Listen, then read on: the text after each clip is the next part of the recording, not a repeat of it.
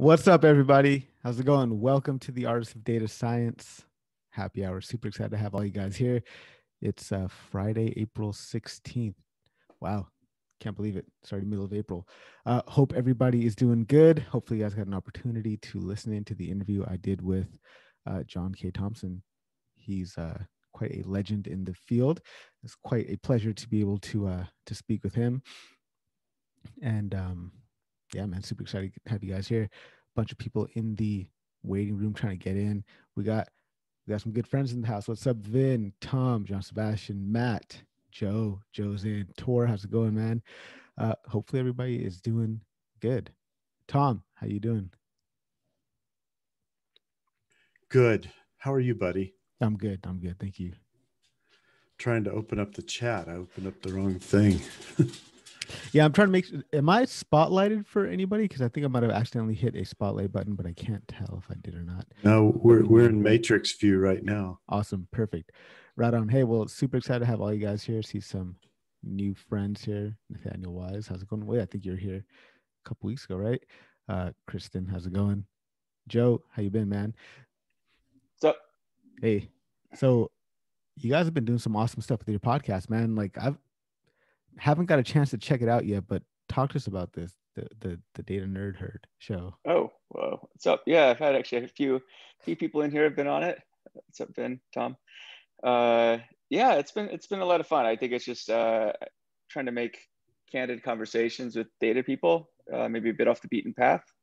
Um, so yeah, it's been a lot of fun. Hopefully, uh, the guests have had a lot of fun too. So awesome, man.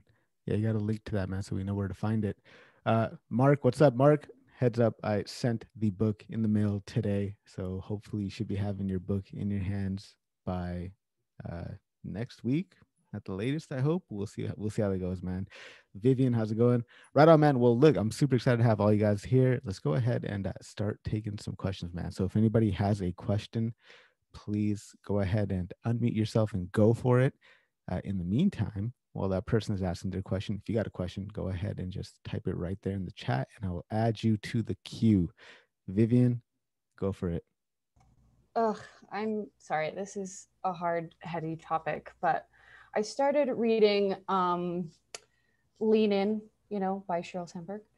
And I guess that just this is something that's been on my mind ever since I started learning data science and ever since I started coming to this group. And I haven't wanted to bring it up because it's uncomfortable. But I guess I would just like to talk about, I don't know, what people's thoughts on like diversity, you know, particularly gender diversity. I feel like I have faced, I'm sure that a lot of people have faced some feelings of discrimination here for various reasons.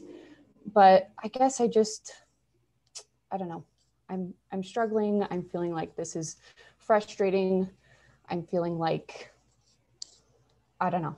It's just rough trying to be a woman in this world and like I have so much ambition and constantly kind of being kept down and like punished for having a lot of ambition, you know, being told I'm like prickly and things like that and I don't know, just if anybody has any thoughts about uh, you know where they see this going or any you know if anybody just wants to bitch about stuff that they've experienced that's welcome too.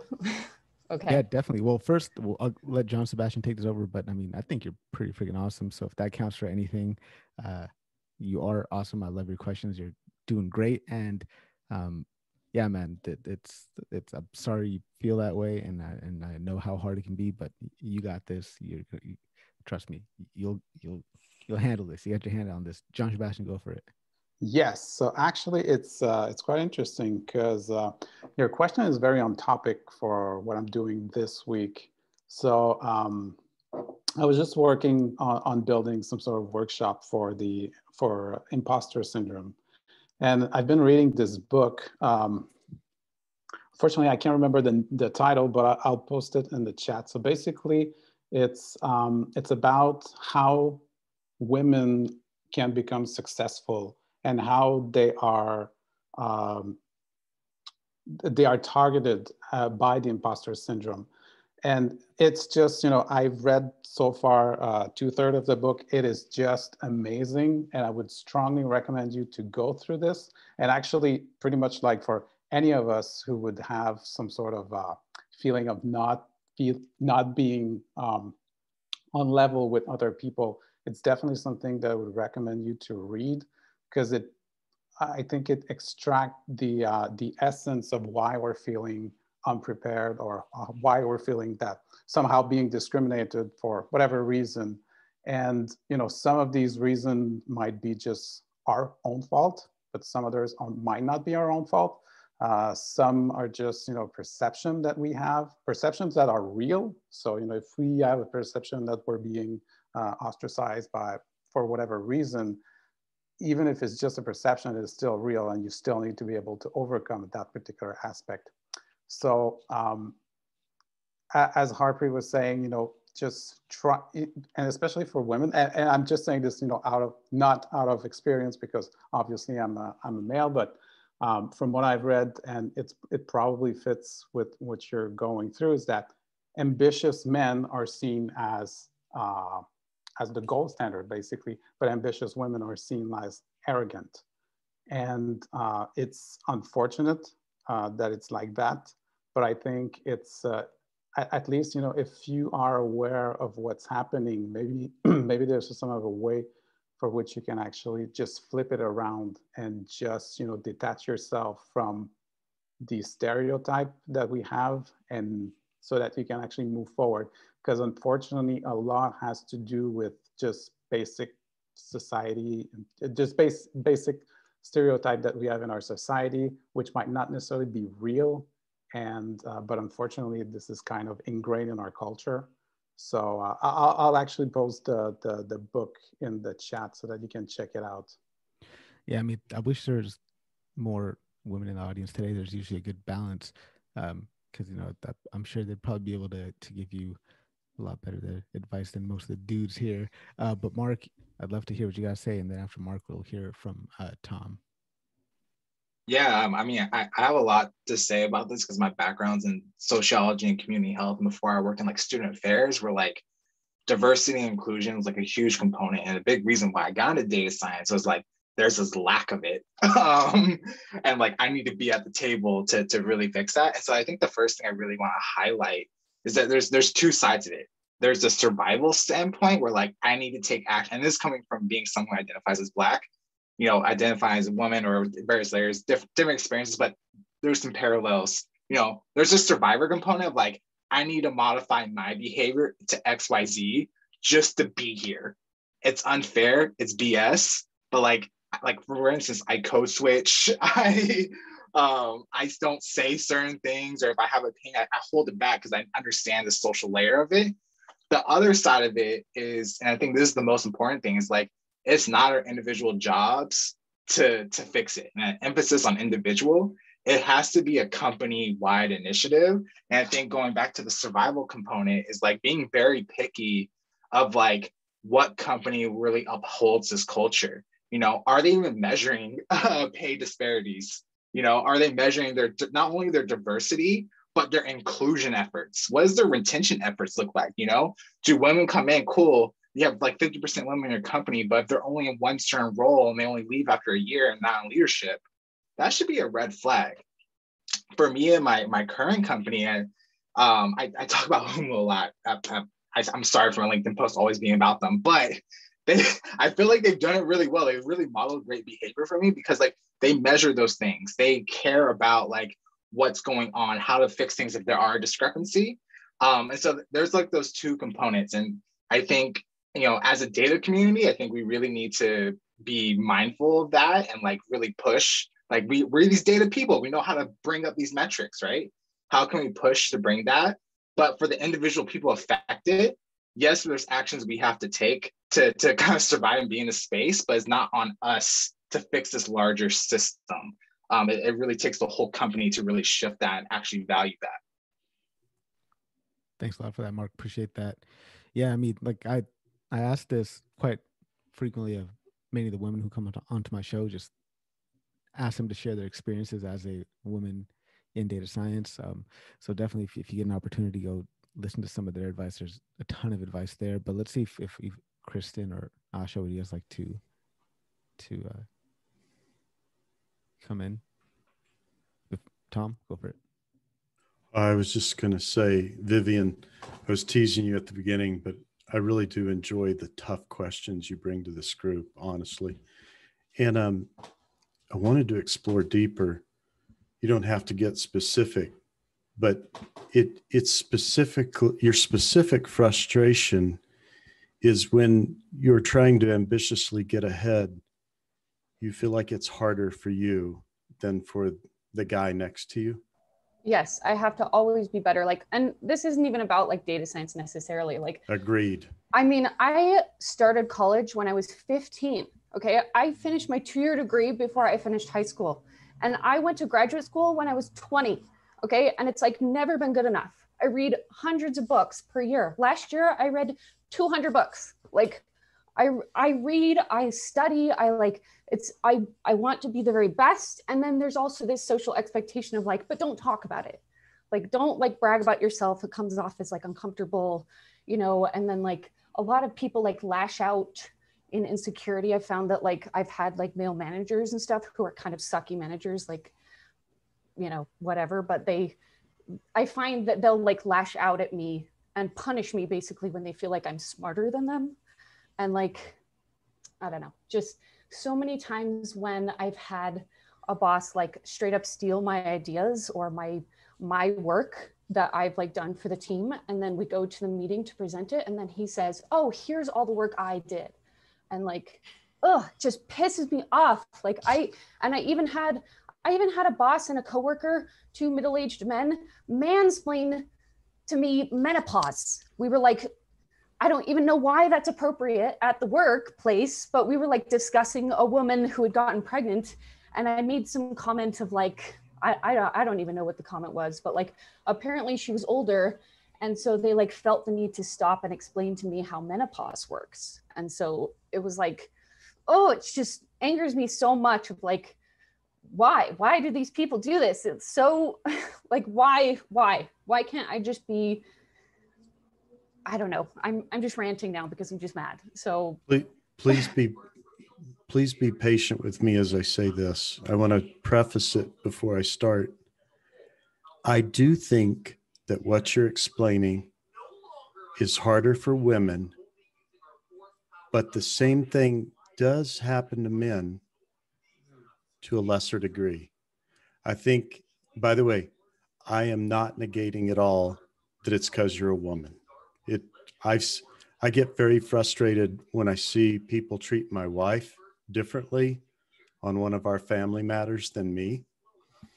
Um, but I've witnessed this for myself and others. In other words, I'm trying to say, I think we can all benefit from this discussion, but we should remain sensitive that women get it worse. I've actually, it took me a while to actually even I'm embarrassed to say this, Vivian. It took me a while to even see that, uh, honestly, that that women suffer in these regards more. Um, it it's amazing the spectrum of individuals we encounter in life. I don't want to oversimplify this, Vivian, but I think uh, people are so freaking insecure across the board at different levels that they're grasping for anything they can get sometimes. And uh, yeah they'll steal your work. I don't know. Maybe that guy thought you know he had inspired you to do that and you were just doing what he thought. Of course i know I, i'm thinking of some specific cases for myself and can't imagine how much worse they would have been for you but i remember this bully at one company i worked at and frankly i had gotten in a habit of thinking it was just me but then I found out, oh no, there were a lot of people suffering from this guy's toxicity. And it was worse for some of the women. Mm-hmm. And uh, anyway, um, I don't know if anything I just shared was helpful at all, Vivian. Uh, I just want to say I empathize. Yeah, it's very, I mean, like, I'm super, super like bummed that you feel this way, dude. Like, I mean, it, it sucks. Um, I mean, if, if Tor, if you want to chime in. I saw Makiko came in. I would love to have Makiko provide you with some advice as well because she always uh, kicks ass at this type of stuff. Go for it. Tori. All I can say, Vivian, is that I've definitely been there. Um, an example, many years ago, I developed a budget model for a company. Uh, my manager stole my idea, and it's the opposite. It was actually a woman. Now, this, to me, yeah, there is some discrepancies in the workplace, and yeah, women generally have to perform more, harder to achieve. But this is the commonality in the workplace. I've found many instances, and finally I was able to leave the corporate world because the politics, I'm not a politician, unfortunately. You know, I can only take so much bullshit at the coffee machine, but then I need to get back to work. And a lot of people will take that as a criticism. And it's like what I always say is that most people, some people always say, don't work so hard because you make me look bad. So you are actually indirectly creating an atmosphere where people feel threatened because you actually perform. And and the one thing you never have to let happen is to allow these people to get to you. You are you. And at the end of the day, my dad gave me one advice don't look for your job, look for your boss. Because that is, if you can't work with your boss, you have no future in that company. It doesn't matter how hard you work, how much you do, you will never get anywhere because you do not have that support. And to work for that support, it, there is a point where you have to say to yourself, it's not worth it anymore because it's affecting you as a person and not them. And remember, these people, they will move on, move on. I live by one rule what goes around comes around. That's how I justify that these people have better pay, better jobs, get promotions, etc., etc. But at the end of the day, they will face themselves one day, and that's when they will have the problem. Uh, Vin, let's hear from you, and then after Vin, we'll go to Craig, and then Makiko, if you'd like to, to jump in. I think, and this is hard because I think more of us need to say this. I failed. I've been in this field for 25 years. And this is where we are. I mean, this is where we are right now. Is it better? No. No, it still sucks. I mean, you can point to a couple of points. Sure, awesome. We made a couple of points. That's not better. And I think it needs to be said more. I failed. I mean, yeah, did I try? It doesn't matter. I failed. We're still here. We still have this problem. And I don't think we get past it until more of us just I failed. What I did didn't work. What I've tried didn't work. Uh, uh, you know, it it didn't, and that's the that's the only conclusion you can come to by looking and listening to all the stories that are out there, especially right now. You know, it doesn't matter that I'm not quite in that middle age group yet, or I'm not quite one of the most senior. I, I've had my chance. I failed, and I'm sorry. I, I I think we need to say that more and when you failed, just start listening.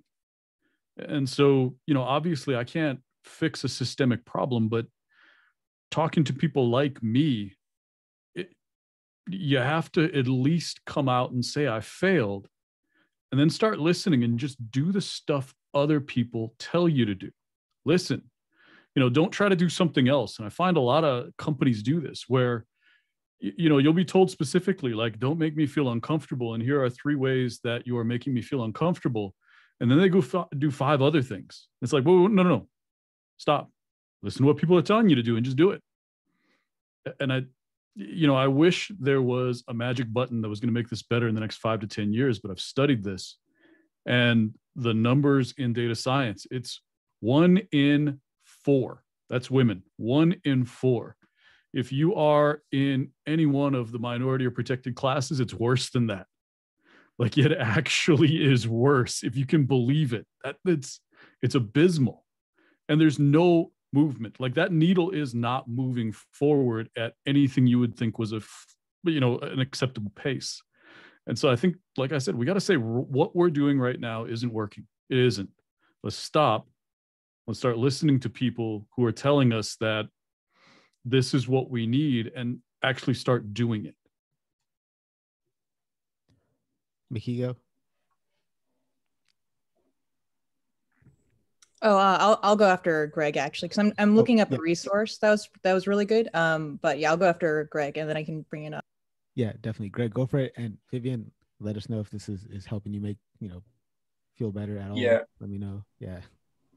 Yeah, um, yeah, Vivian. As soon as I, I I- heard I heard it, it it's it you know my heart goes out to you, and I can I can certainly relate. Um, and for someone who uh, comes from the Caribbean and had a hard time, you know, fitting in, uh, I totally totally relate to to to this.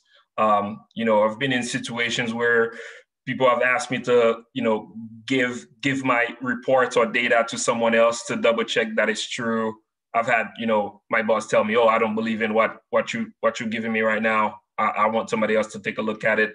And, and it, it really sucks. Um you know just because of my accent somebody thought that you know i should ask you know the fact that i asked many questions too many questions uh they thought that i didn't get it. I didn't understand it uh, on top of that, um, I, I'm black, right? So in America, and you know, here's what I do, in in in, and I think you are you are way way beyond that too. Is uh, that mindset you have right there is to find people who align with you, like your vision, and help you push forward. You are well equipped enough to spot the ones who will not align with you, who will not push you forward. So with that, once you identify them, start thinking about a way to align with the ones who can give you a boost. Surround yourself with them. So if it's your manager who's not giving you that boost, now think about the next steps. How do you go around that? Because that person might be a blocker in your life and figure out a way to move around and, and be smarter, outsmart people. You, you're gonna have to do that. And now, another piece too, to build on what Vin was saying, the first step is to acknowledge the issue exists. That is perfect. The, the, the key to bring this home is to become an advocate. Th- that's what to me I see missing is that we say, yes, it it exists. What do we do about it now? How do you become a manager now who elevates your team? Women, men, no matter what. Now you become an advocate. We change things by becoming an advocate one at a time. So if us men, we realize that there is an issue for women, let's become an advocate one at a time. That, that to me is the key to change it. And, and it spreads, right? Forget politics. So that's the way I can I can say it. I can see it. And, and for any issue, deep issue that that that is going on inside and outside of work. So with that, um, Vivian, you find an advocate. You can spread the word. You can infect others, right? So the ones who don't advocate for you, you move away from them. It's a big world. There will be somebody out there who wants to help you out. This group wants to help you out. So that's all I have to say. Thank you very much, Um, Greg. can I say something before Makiko goes? Yeah, absolutely.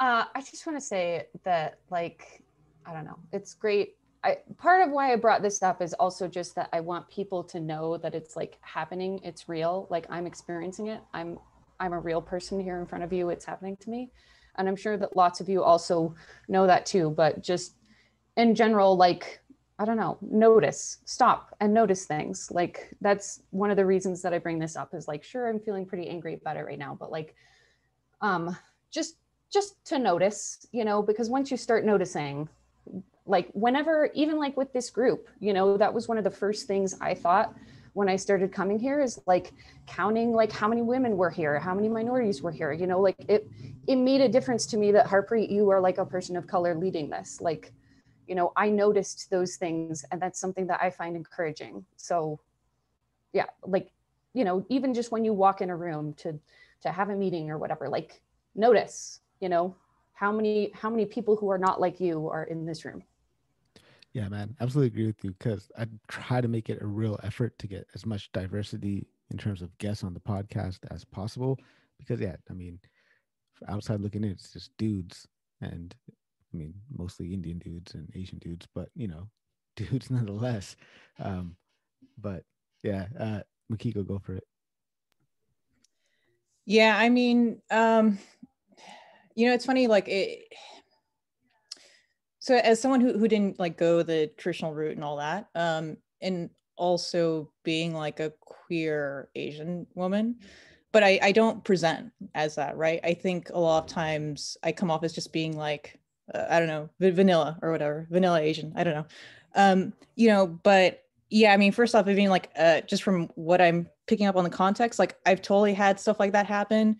Um and it's like hard too right? Because like i've had instances to like for example i'm talking to some coworkers and like i find out that people for example think i got the job because my hiring manager is into like japanese women or you know I, I go to like conferences i get hit on by like some of the managers. They're like oh i really love the way your like pants look on you. It's like are you looking that closely? Aren't you supposed to be looking at the details on like the powerpoint slide? Right. So um you know all yeah all sorts of like nonsense you know? Um so so I posted a link because it's something that I think about a lot, right? Is uh, this concept of exit and voice, you know? So if you come on, like, if you have a situation that's like uncomfortable, I mean, there's two ways to do it. You can kind of like, you can either like raise your voice uh, or you can kind of like exit, you know? Um, now, a lot of times that's really kind of hard. I've been in a lot of situations where I just could not leave a job because like financially it's just not doable, right? Um, you know, so there's, so in a lot of ways sometimes it feels like there isn't really a lot of options. So you know there's the chance to kind of change the environment around you but then there's also kind of the chance to like i don't want to say change your reaction or response to it um, because frankly that's not your responsibility. That is a responsibility on the person who is like making the environment an uncomfortable place to be and the manager who is not raising up their team. Um, you know but something that kind of helps me feel better is like first off um, in terms of like the advocates and the allies i spent a lot of time doing uh, work for uh, organizations like lesbians who tech uh, and women who code um, because there's a lot of people like me like you who you know we're trying to make our way into like data science and machine learning. A lot of times we run up against uh, sort of like measuring contest you know um, that comes off as like microaggressions or actually sometimes macroaggressions, right? Um, let's be honest, sometimes they're they're not that micro. Um, so I spent a lot of time there, like building relationships there as well, um, doing a lot of work um, wherever I can with sort of other organizations who maybe, for example, focus on like Black Lives Matter, looking at the impact of COVID on like how it's exacerbated by like uh, racist policies and all that. I try to build build allies and bridges among other groups because the reality is that like I don't think a lot of times I can always change the person I'm interacting who is causing those microaggressions. It's nice to raise it. Um, so that's helped me. Um, you know, but part of it too is as much as possible with a lot of like my male allies, if they're open to the conversation, like I also do try to educate there. Um, because I think for for even with my partner, right, who's who's male, um, we've had conversations where we talk about scenarios where he's like, oh, well, you know, I thought he was like, I, I was just treating her like one of the boys. And I'm like, well, I don't think first off, you should be treating one of the boys like that. Um, but also you should maybe think of it as like a professional work workspace, you know, where your goal as a manager is to just make it a safe environment. Um, so I know none of that like really helps, frankly, at the end of the day, it like, it like sucks. Uh, and there's been a lot of times where like I've, eh, which has caused me to kind of like, you know, move on to the next opportunity or leave because I'm like, look, if you're not going to treat me my value, um, then I don't have to deal with this stuff.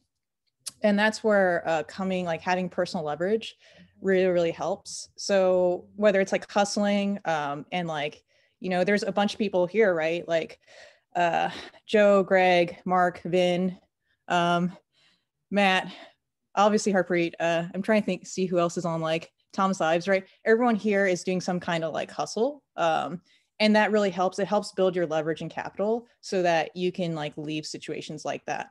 Um, or even just basically sometimes uh, being able to go into meeting and kindly kind of push back on that person go no i ain't going to take this shit. Um, so that kind of helps me a lot. And so i spend a lot of time on um, some of the subreddits that like encourage like the women independent finance and all that. But um, but i hear your point right? Which is that like as women it should not always be up to us to be educating like our male counterparts on like what is considered safe appropriate behavior and that is true for like everything you know so all i can say is you know like been there got through it i do what i can to educate and communicate But a lot of times for me, my superpower has just been building up enough leverage so I can say like, bye. So not sure that any of that helped. I'm also hungry, so I'm just gonna go back to eating.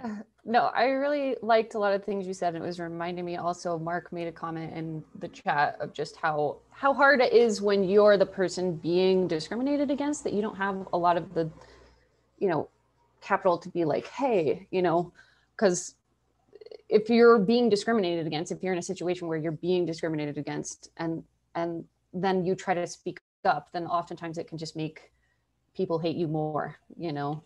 Yeah, and that's where Greg's like advice about the um, adv- advocates, like that really really helps because I had some certain I had some sort of like gnarly situations like at different companies I've been at around like harassment, sexism. I'm gonna be honest, HR was kind of useless there, um, which is unfortunate. But um, and that's not, not to say HR was useless, but what really helped me was I had like I had allies and advocates in the senior level above those managers who were doing that nonsense. And like I hate to say it, but at the end of the day, like uh, it's all it's kind of like about power and hierarchy. It really is that Machiavellian kind of like you know who do you know that and like how much power do they have to like influence the situation? It would help if we had more women people of color lgbtq in the in the leadership ranks. Obviously that helps kind of sort of pull everyone up. But um like greg's advice there it, it's really super key because it'll also help to like something that um i thought was really insane that i learned from one of my jobs was when uh, my business partner said like look deals are never made at the boardroom like that's the common sort of idea is that like, oh, like people go into suits and then they go into the boardroom and then they do the presentation, hammer out the deal. Um, but actually what what what really happens is like you have these like kind of like side conversations or things that happen outside the boardroom that are sort of like the uh whatever right? Like they have like the the conversations happen with the people who are in power and then the boardroom is just kind of like the perform the performative exhibition of like that power and influence. And so that's where that ally and advocacy stuff really really helps. Can i can i add something real quick? Yeah definitely. After that let's hear from nisha and then we'll go to joe and then vin again go for it mark Perfect. Um, i just want to add some like an actionable step that people who, who don't identify as women can take to be allies and please correct me if you think this is the wrong approach. It's something I've I've used and talked to my colleagues who identify as women. But first, like one notice, like Vivian said, like take chance and notice if you're seeing like people their ideas being stolen or like not being talked to, especially like meeting settings. Pay attention, and then if you have that rapport with them, go talk to them like, "Hey, I noticed this BS happening. You know, is it okay if I like like try to amplify your voice or like do something where you feel comfortable doing that?" And then when you're in a meeting, you can be really subtle about it. So if someone steals uh, a woman's idea, you can literally be like, "Oh, that was a really cool point, Harpreet. I'm just gonna choose you, not intentionally. Hey, cool, that was a really cool uh, point, Harpreet. I remember Vivian saying something really similar for her work e- earlier. Um, Vivian, can you tell me your perspective on this as well? So it's like a really subtle like redirect to like bring the attention back to them, or you can be like, "Hey, uh, Vivian, I, I didn't hear you talking in the meeting. I know you worked a lot on this. Like, could you, can you please tell me more what, what your thoughts are? like going actively, like bringing them into the conversation, but in a really subtle way. Um, but the key thing is like having rapport with them and talking ahead of time so it doesn't feel like you're like singling them out or anything like that. Um, but that's strategies I've used before. Um, and that's what people like when I've had rapport with where I've noticed that BS happening. I really, really like that, Mark. Thank you so much. That's phenomenal. I like that that idea. Let's hear from Nisha on this topic. Then Nisha will go to Joe and then Vin. Um, hey Vivian, I, I'm quite with you. I've I've been there and I have experienced both in the academic setting and in the industry setting a similar thing. Um, in the academic setting, what happened was uh, it was a qualifying exam that I'm supposed to give. This happened a couple of years back. And the professor actually said, I have two kids at that. Uh, I had two kids at that time, and they. He said, if you have two kids, how are you going to do your PhD? That was pretty much the question that he asked me in a qualifying exam, in a closed room exam. And there are only three other professors who were there in that room. It's not being recorded. It's not being done anything. So he, he's asking that, and the rest of the professors, one of who was a female, she did uh, support me, and she she uh, the end result was essentially the guy who asked me that question he failed me on the qualifying exam but the other three passed me. But i have to get a four pass otherwise it's a conditional pass. And that's what happened in that qualifying exam. Uh, so I, I really understand what you're going through because me what I did at that point was I quit the program. I just graduated with my master's, didn't do my PhD just because of that one guy who affected me so much. So, like Mikiko said, there are two ways to go about it. One is to, I don't have to take your shit, just move on. And the other is to fight back. At that point in time, I was so emotional that I just decided I, I'm not going to take your shit. And I graduated with my master's with another professor. And then i'm currently pursuing my phd so i did i did not give up on my dream though. I just put it for later. I worked for a couple of years in data in the industry and then i picked up my phd again and i'm i'm close to graduation now. So hopefully that helps you and gives you courage to pick whichever option you want to and the other thing is same thing happens in the industry as well i do work as an analyst in a state government job currently uh, while pursuing my PhD on the side. So what I do in situations like this, where the managers take credit for whatever I'm doing, I subtly insert, like Mark said, ask questions during that meeting that I know he cannot answer because I did the groundwork, right?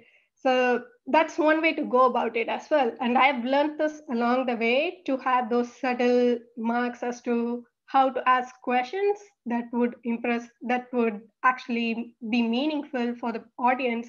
And at the same time, the manager who is taking credit for all the work cannot really answer that question. So he will have to defer the question to me. And that that time I insert my own, uh, I guess, words saying, uh, this is how I did.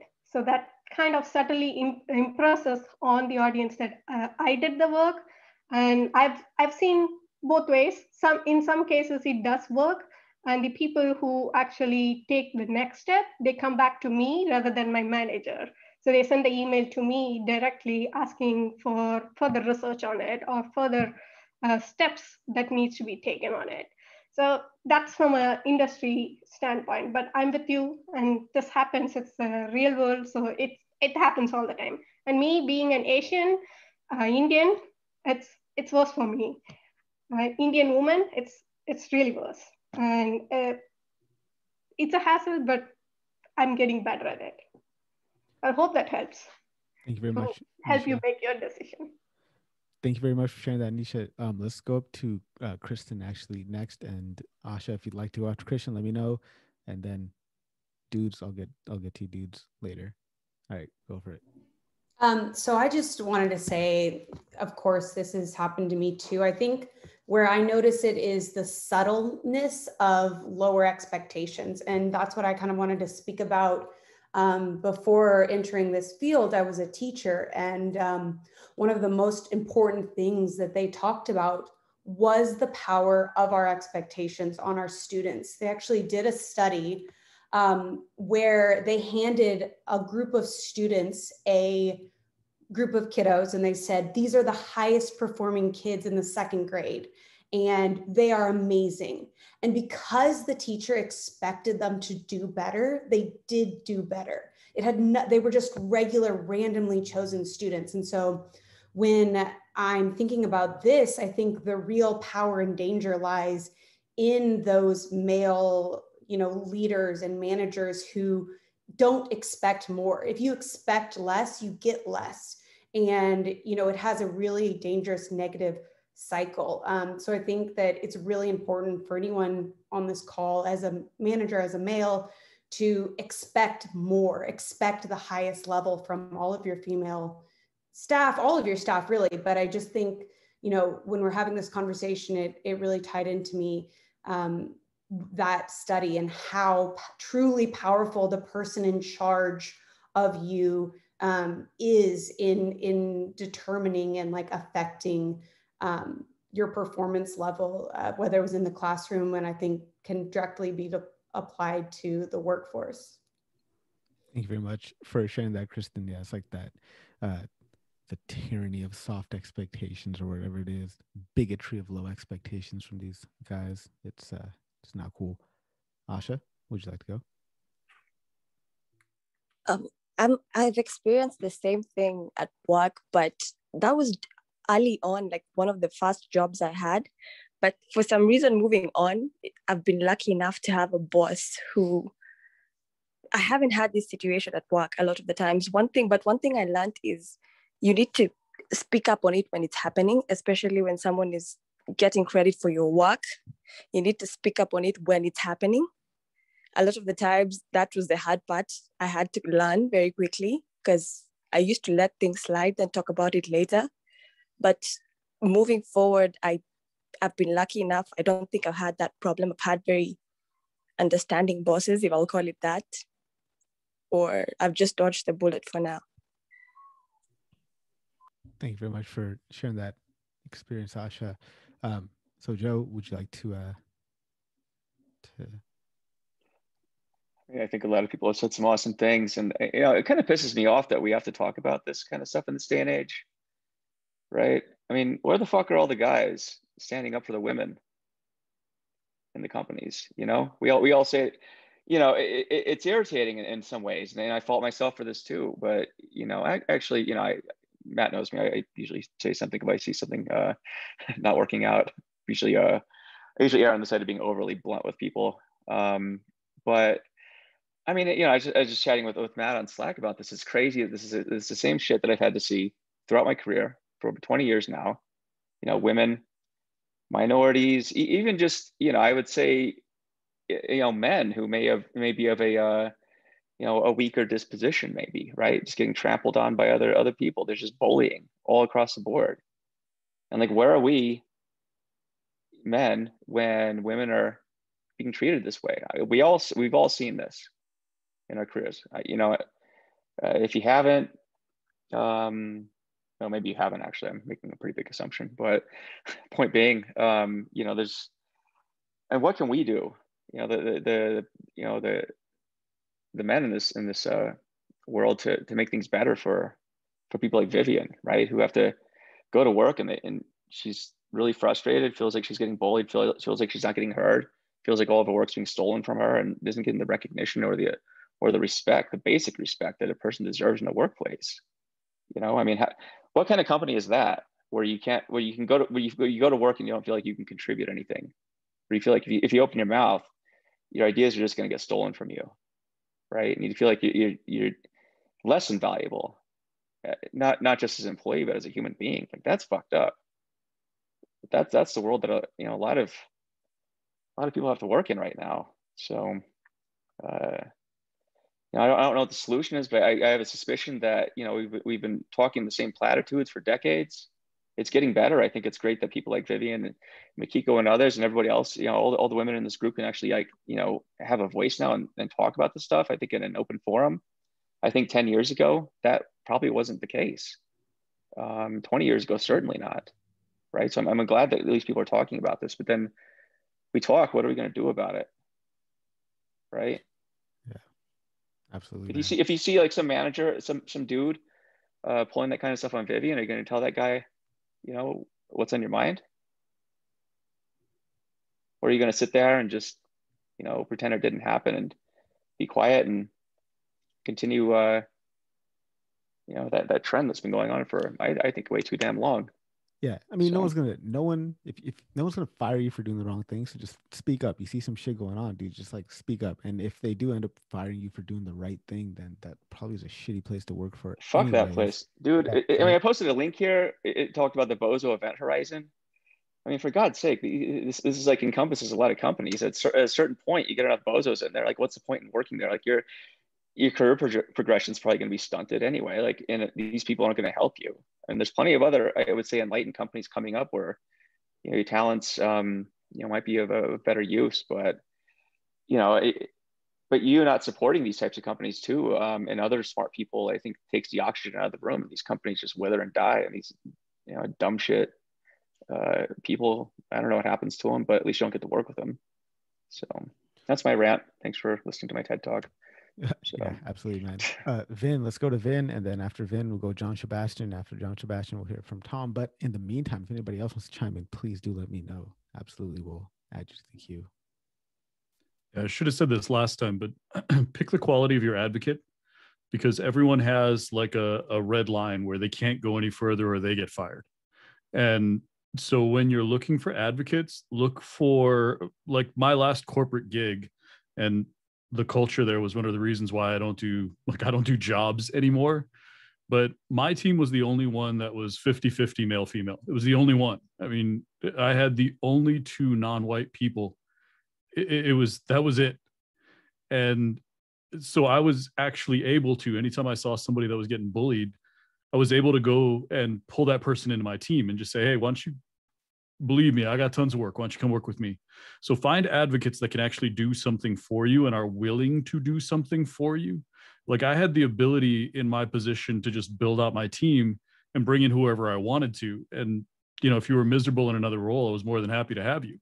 So, like I said, look at the people who are actually doing something you know not just hey that's not good that's not enough you know you can't you can't just wag a finger and expect anything to get better but look for advocates that are actually doing things working and find advocates that are zero filter because that's my other problem i have the reason why i'm again not corporate is because i have no filter and for some reason that works really well in the c suite but everywhere else that's highly discouraged and so when I got mad about something, like people didn't want me in that room when I was angry about something. And so if you brought a problem to me, I was that person that they didn't want to come and bring that up to their boss. So also find that person with zero filter because in engineering, there's tons of us with anger issues and no filter. Yeah, man, absolutely love it. Um, I, I was never mind. I'm not going to share this story here uh, on this public forum uh, because it's it's too recent. But uh, John Sebastian, go for it. Yeah, I just wanted to add something, and actually, um, so it might be, it may sound a little bit uh, unrelated to what you were saying, but still, I, I feel that as a Caucasian male, you know, we do have our own responsibility in that. And interestingly enough, so a month ago, you know, there was this situation that happened in, in Atlanta and my partner is asian and we were discussing the you know the whole situation you know how awful it was. And i remember you know thinking that it was obviously awful what happened. You know i'm definitely pro diversity obviously um, but there's something that i just can't fully understand and it's not because i it's not because i don't want to it's just because i've i will never experience uh, the level of uh, of discrimination or the the feeling that you are in the part of the minority constantly. Um, I remember we went to some like uh, uh, I would say like counties in which you know I was the only uh, white dude, and you know at some point even if I was not surrounded you know by criminals, I was just like normal people uh, it's just it feel you feel so much disconnected from your own reality that you feel you start feeling insecure. And that's basically what she was trying to tell me by you know by by when my girlfriend sorry it feels like a, it it's it really does feel like i am not making much sense but my girlfriend was trying to tell me that you know the whole situation in atlanta uh, that you know, it was way worse than just, you know, just another situation that, you know, she felt like very angered by, by the everything. And I was like, of course I understand. But the truth is that I, I can't really fully understand because I'm not the one who's going outside, you know, being Asian and walking among men, Caucasian men all the time, feeling completely, uh, feeling like the minority, like 24 hours a day. So that being said, the, the only thing that I wanted to say really with, with this story is that, you know, if you're a man and you're pro-diversity, I mean, support whatever uh, is, is coming to you, uh, but don't, don't pretend that you fully understand, support it, and just go with it. Because ultimately i mean you don't you don't really understand what it is. And that's was my acknowledgement with my partner is that you know what? I you, you know i get that i don't get everything and that's why i want you to feel more comfortable and that's why i'm going to protect you uh, even more from now on. So it's just what i wanted to add actually thank you very much john sebastian uh, tom and Viv- uh, Vivian, sorry, I saw you unmuted there for a second. Uh, go for it. Um, I just wanted to add kind of what off of um, John was saying there, that um, you know something that has angered me in the past before when I've tried to like speak up or push back more is that you get a lot of like shit from people being like, why do you always gotta like take it to that place of like feminism? Why does it always have to be like that for you? And it's like because I don't have the luxury of forgetting. I don't have the luxury of like taking up this cause for a day or two and being like, yeah, and then and then getting tired of it and putting it down. Like this is my reality, you know. And I'm sure that lots of people feel that way. Like, you know, Greg, like every single day has to go to a workplace or live in the world in which he is black and has an accent and like have people, you know, belittle him for that and like in his every interaction you know so like he doesn't have the luxury of like putting that down and taking up the cause when he feels like it you know? So i guess that's just something i wanted to add. Absolutely. And um tom go for it. And i mean look guys i, I hope this is uh hope this is helpful to vivian. If if you know if any any point you, you just reach out to me at any point. Just so you know one-on-one if you ever need reach out to me i'm i'm there for you. But tom go for it no i'm, I'm really glad we're talking about this. And uh vivian i want to check in with you on something. I'm guessing we haven't really come up with any great solutions. It just helps to have some empathy. Is that accurate?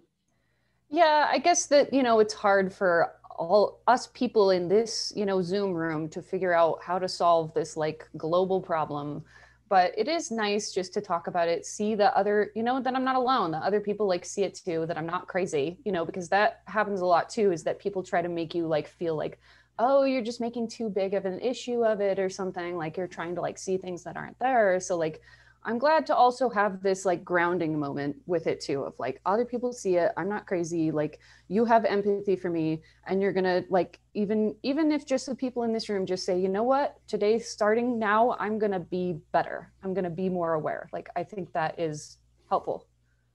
So I had another question and it's to you and the other women and really to anyone else who's felt some type of I don't know what to call it anymore. I'll call it bozoism. Thanks, Joe. Um, when you face it, when you confront it, does it make it worse or does it sometimes work to confront it? I, I sympathize with what Mikiko is pointing out that, well, uh, it's risky and, you know, I've got my golden handcuffs on right now. I don't have another option yet. I'm just curious how everyone's feeling. I remember um, I was going through something. I don't know how big it was in comparison to y'all, but I finally stood up to my manager, and uh, I'm so naive. I went to a friend that I seek counseling from during this time, and he said, "Oh man, you got him scared for these reasons." And I went, "I wasn't even threatening him." Oh, you mean you meant that towards someone? Yes. And it, sorry, I know I'm being confusing. I'd said something that really scared my manager, like I was going to turn him in for something. I was talking about another individual that was affecting the situation, but I'd failed to communicate clearly. Anyway, I finally stood up, but I think I just got lucky. If I had stand, stood up any other way, Vivian, I think it might have just hurt me. And I'm just wondering those of you that have stood up to these situations, how often did it come off okay? Yeah, that's an excellent question. And sorry, I, I didn't mean to. Yeah. I'm just curious because I, I feel frustrated with this talk in a way. Yeah. Oh, definitely. And um, let me, uh, Mikiko, I'll get to you after I turn the floor over here to Asha. Um, but Mikiko, when you do get a chance to to get on air, tell us about some of these organizations you had mentioned in the chat as well. I Asha, go for it. From my experience, I found that speaking up helped, but it's different for, for everyone. You deal with different people, it might go differently. For my sister, it went differently. But for me, after I spoke up and consistently kept at it, I found that the more I spoke up, the more I challenged the status quo, the more comfortable I became, the more respect I got. For me, it worked. But for some people, it might not work. It might aggravate the whole situation. But for me, it went very well. I spoke up when I saw it happening. I spoke up right there and then. I didn't let it pass. And I did it consistently, consistently, consistently that I found things changed. They had to change. If they didn't change, I'd consistently speak up on it till the day I leave the, the company and go to somewhere else. I'd still consistently speak up on it. And it changed for me. Kika? Yeah, so I think so it, it, it like it honestly it just depends on the moral character of the person um, and the company. Um, so for example, so I, I, worked at this one startup, right, that um, was started in, in uh, Tel Aviv, um, but they had a San Francisco office. And there, I think a lot of times there there were moments of miscommunication. Um, but I think that came out of the fact that like, and like my Israeli colleagues were telling me this, you know, they're saying that like, oh, you know, Americans are very soft in how they speak and how they communicate. And for them, it was like, they're like, we want you to get to the point and we want you to just like get there. Right. And we want you to just ask. So there it was kind of like, like I had to learn how to like advocate for myself in a uh, like cross cultural environment right? Like i had to sort of kind of uh, adapt the way i was operating to the way they were operating just because it, it and it and it was funny because i had a few meetings with like some of my my male israeli colleagues and i, I remember going like man these guys are rude. And then of course like I, then i was working with the director of finance who's a woman and she was the exact same way. And and it was funny i was like she said to me she's like you know she's like i like you. She's like you're very direct for an american. I'm like okay okay uh, so maybe I see what's going on here, right? Um, so there, for example, I think it was not um, it was not a case of uh, of like someone just intentionally uh, trying to be rude or trying to sort of fulfill their own kind of insecurities. It was just literally like we had to just like kind of code switch on some of the stuff. Um, so there, I think it, it worked out fine. Um, but like I've had some more extreme circumstances, right? Where I worked at this one company and, you know, I was like harassed for six months and it caused me extreme like mental harm to the point where you know i had to go get like therapy for like i had ptsd like all this other stuff you know and it was interesting because you know i thought my story was sort of very isolated but then i i, I started building adv- advocates and allies and then they were what they were telling me was that first off it happened to a lot of women um and it was i think it was really a company culture issue right? Because then around that time, they had like this anonymous letter, anonymously signed, whatever, by like 40 people who had said, like, look, we had experienced this at the company. And so there, I think it was this, there's this like permissiveness in the system, which allowed for a lack of individual accountability. And for some of those individuals, they were like, they were never going to like apologize, right? So I think it just, it, it really depends on like where that person is coming from. Are they, you know, do, are they doing it intentionally? Um, you know, do they like have something to prove? Um, and I mentioned like there's like I had a story right, like I had this one interview where like this guy like I had kind of tr- started treating him as an equal in an interview. He didn't like that, so I had tried to sort of modulate. It was like, oh, I'm so sorry. You know, uh, maybe I don't understand the the definition of logistic regression. Could could you please, you know, educate me?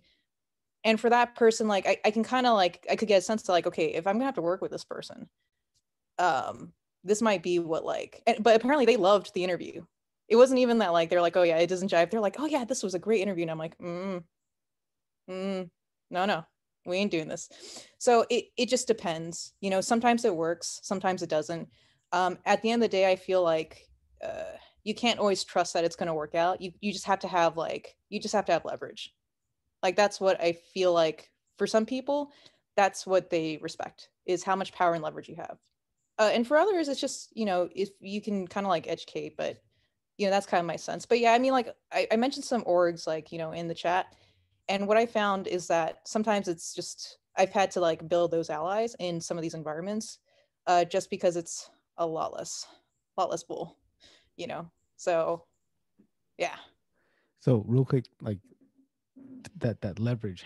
Talk to us about that concept of leverage in a role we feel like we're in a situation where, like you know, Vivian is. How, how can we how can we find points of leverage and what would that what would that look like so we can identify that whenever we come across it right? Does that make sense?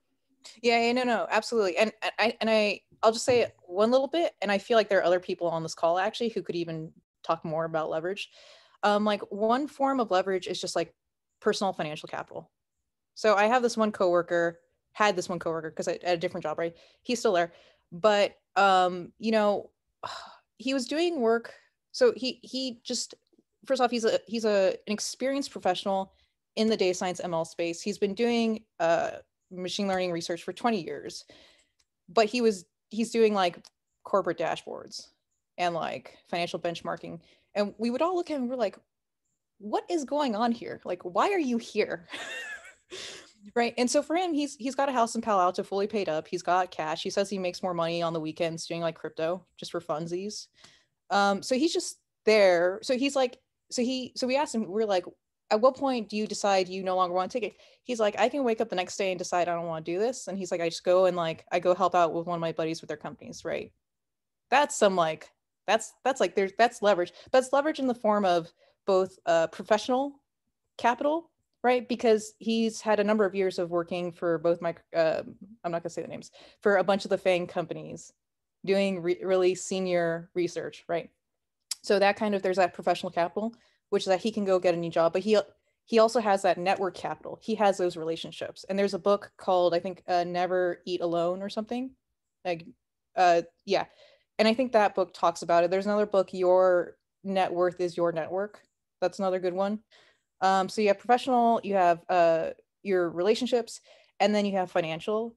Um Ramit Sethi he talks about this tripod of stability where he says you need kind of like three points in your life to uh, well ensure stability but to give you kind of that pivot power to be able to make those decisions um, and that's just kind of how i approach things because and it, if you think about like your job title for example like uh, years ago it was data scientist now it's data analyst data scientist ml engineer ml research right the the titles change but your body of work and your experiences those keep being pulled forward I mean, everyone here probably has had like, you know, has had like maybe eight to 10 different titles just just by function of the industry changing so much, you know, but your body of work, the relationships that you build, um, you know, that you kind of just take with you like forward. So that's at least how I think about it. I think about it both as my arsenal of, you know, what can I, can I just, can I exit the situation? Um, and if you know you can exit the situation, then that gives you more strength to exercise voice. But awesome. Yeah. yeah. Th- thank you for that. Appreciate that, Mikiko. I'm gonna turn it back over to Vivian. Vivian, if you got any other questions or comments.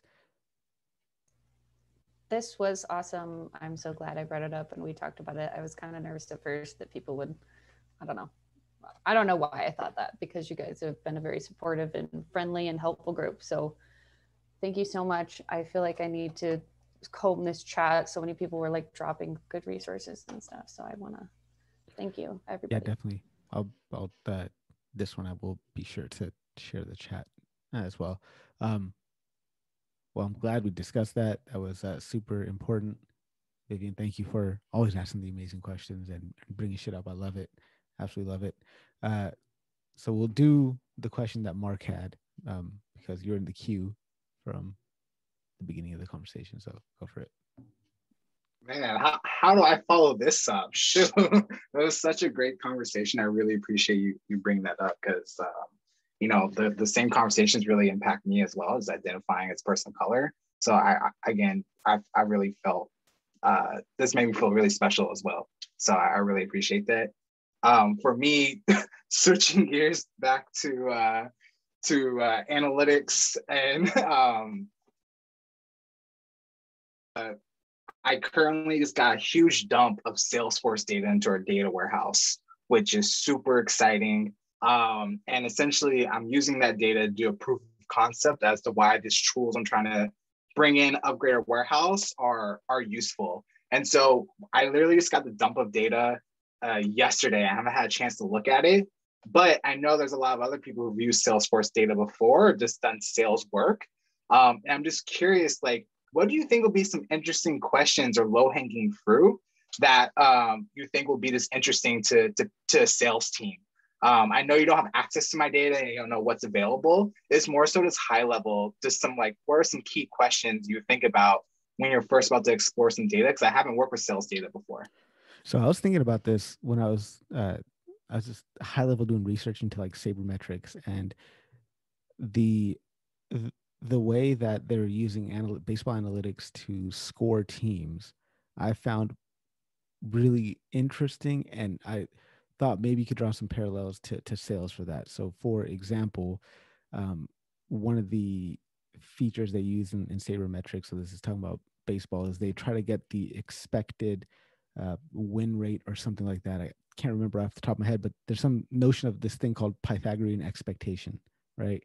And it's supposed to measure like um, how probable it is to to win a particular deal, if that makes sense. I'll find some resources for sure, and I'll, I'll link it over. Um, but that's just high level off the top of my head.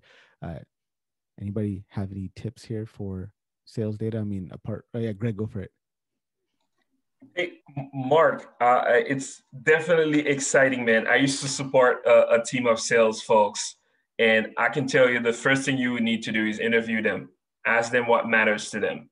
How do they spot, you know, you know, great, you know, uh, prospects, um, and you know, kind of figure out what what do they do to make quick decisions. Uh, you know, you would have to interview them first to see how you can um, tailor a you know a package for them so they can use that to take action. So that's going to get you there.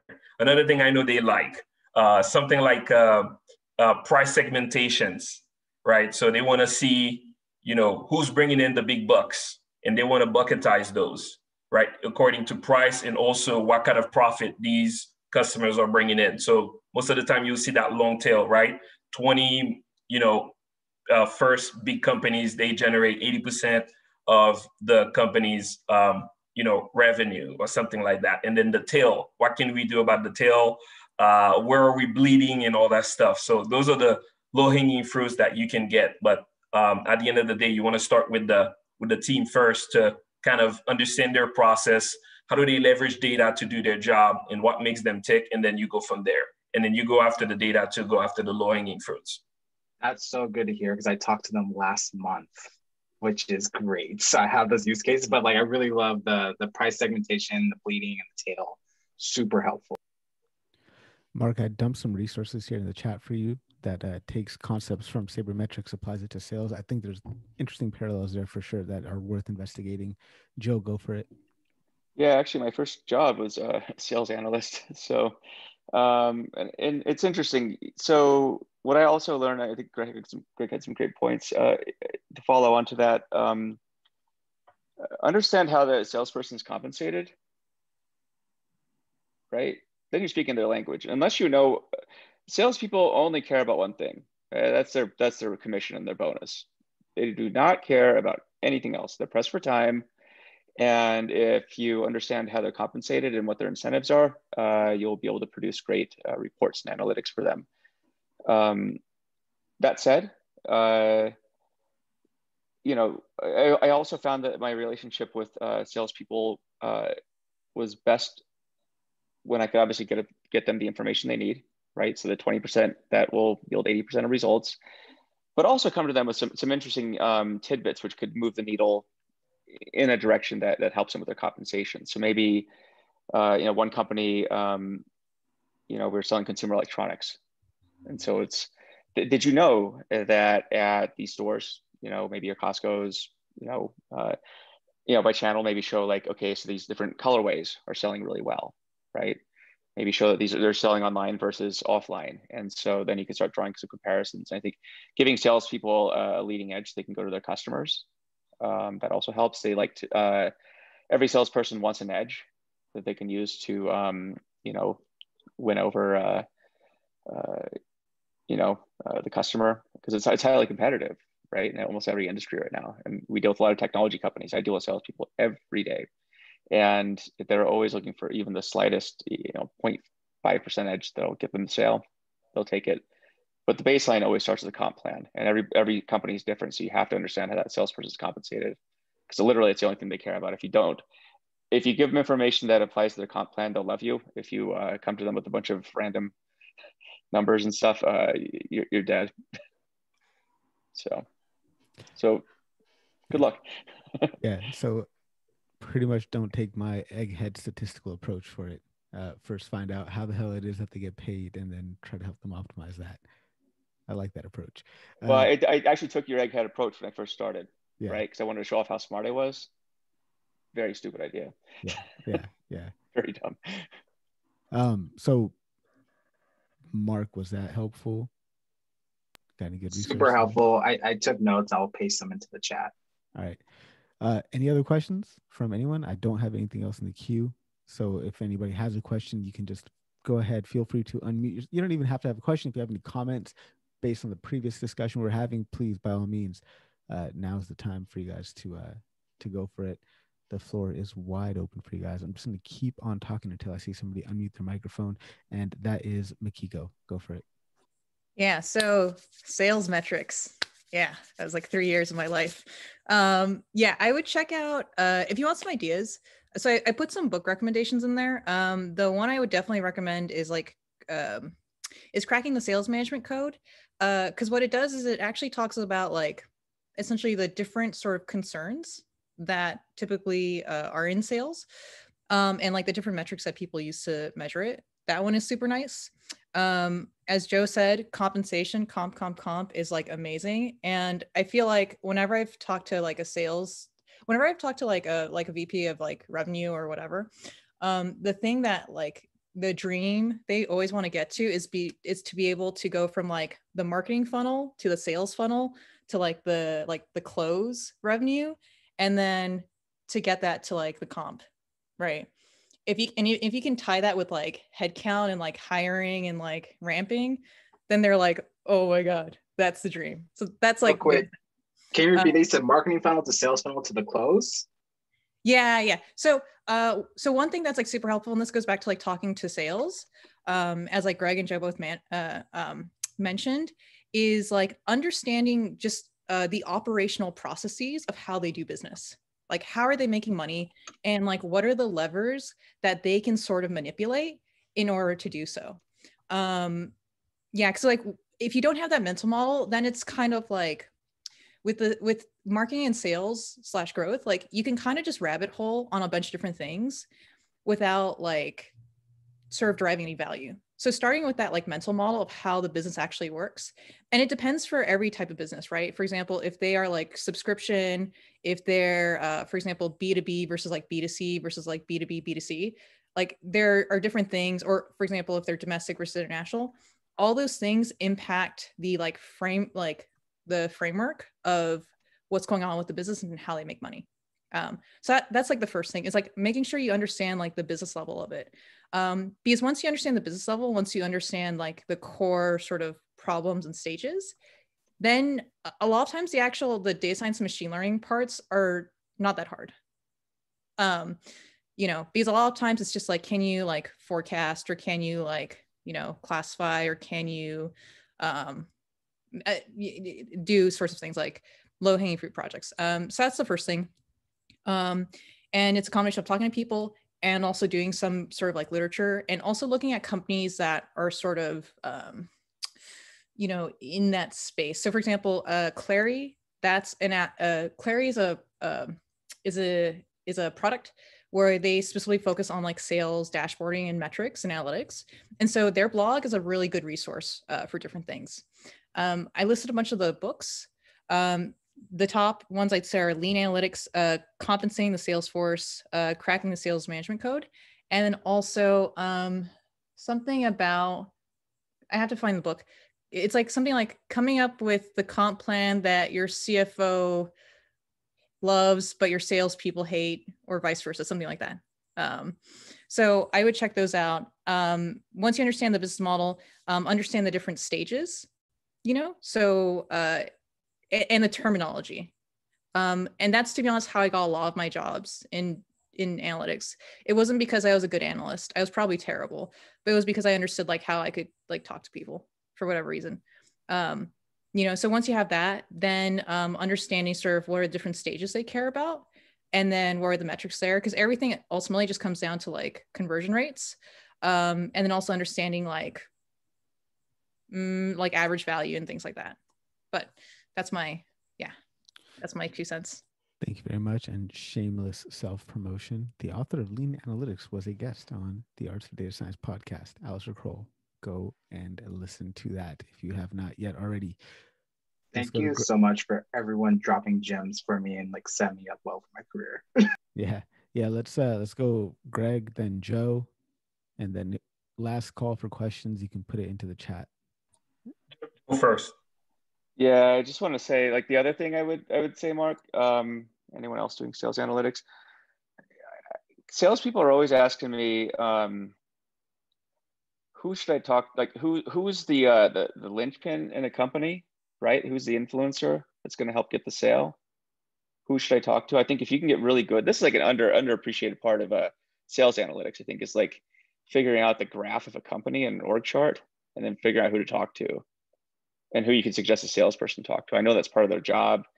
A lot of things are part of their job. I know salespeople are really lazy, um, in a good way. Uh, they're lazy like me. They so, but uh, you know, if you if you can make suggestions in terms of, uh, yeah, I think these are like the top five people you should be focusing on at this company uh, for sales, you will be um, you're going to go places for sure.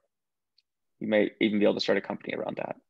So understand that that tends to be like i would say the biggest request is just how to navigate a, a company hands down.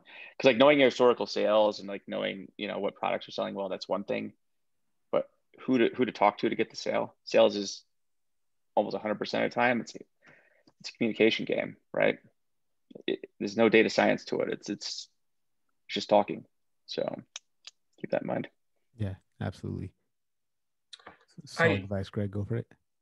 Yeah, I really like what what Joe what you said earlier about the edge, right? So sales folks they really love having that edge. So one thing I know for sure for me that I saw is they liked to uh, have the in and outs of what the competitors is doing, like for example, price wise or uh, marketing wise, you know, you know, portfolio offering type, you know, value uh, package uh, that competitors are offering. So if you can get those faster than they can for them and kind of, you know, help them, you know, with that inside info uh, or any info out on the outside market, uh, they can use that because uh, to me, uh, somebody in sales, they they use tricks, mind tricks, man. They, they, they're kind of like mini psychologists that you know puts you in a inside of a funnel that helps you you know that forces you to make a quick decision and uh, they they get trained for that. So um, if you give them the edge